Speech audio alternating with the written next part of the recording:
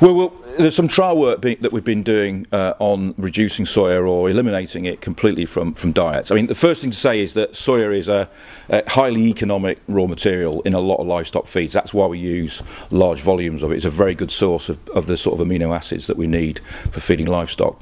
However, despite that, there are supply chains and some demand for diets which exclude soya or reduce it. So, yeah, we've been looking at that on both the layer and the uh, broiler side. It is possible to do. You can exclude soya from diets uh, and maintain the level of technical performance, but it does cost more. Uh, and therefore, uh, our view is it's likely to happen and be used in a supply chain environment where effectively those additional costs can be passed up through the supply chain and ultimately onto the consumer if they're willing to pay for it what you have to do is find alternative sources of the protein because obviously what the soya is providing you is with the, with the, protein and the amino acids. So you can look at replacing them with more homegrown uh, proteins like rapeseed meal and sunflower meal, for example. Those are sort of classic alternatives that you will turn to.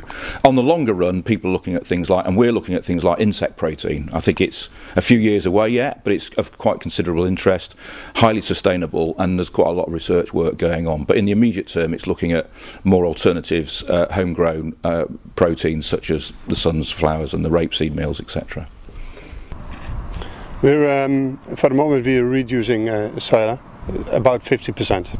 So um, average broiler feed is about 30% in, and I think we go down to about um, 15% now. Okay. What made you decide to do that? Um, so we, uh, we did only some tests with with a uh, few houses, just to look where our borders are, see how far we could go. We uh, even went without soya, which uh, which is also uh, not a really big uh, big problem. But um, we went back for all our farms now at a, a, level of about 15-20% soya. And do you notice any difference in the birds by taking by replacing the soil with something else? Yeah, you see different color of manure.